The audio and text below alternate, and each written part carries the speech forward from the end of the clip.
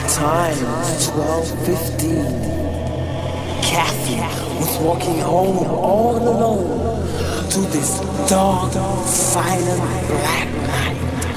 No stars in the sky at all. Really, really calm. All of a sudden, the wind starts to blow really strongly. The trees start waving from side to side. She runs. She runs to the graveyard for a shortcut to get home.